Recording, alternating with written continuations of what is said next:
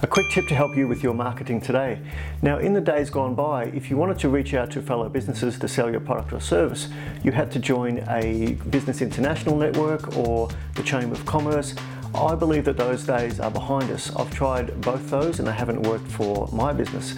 So what I recommend for businesses today is if you join a Facebook group, a professional Facebook group that has the target audience you require, it is a much stronger platform. Now there's a local one in our area, I'm a member of it and it does work for us. We do get leads from that group. So guys, check out the local Facebook groups, whether you're a B2C business, business to customer, or a B2B business, business to business. They can help you gain more customers for your business today. Shout out via the link above or below if you'd like some more help. Thanks very much.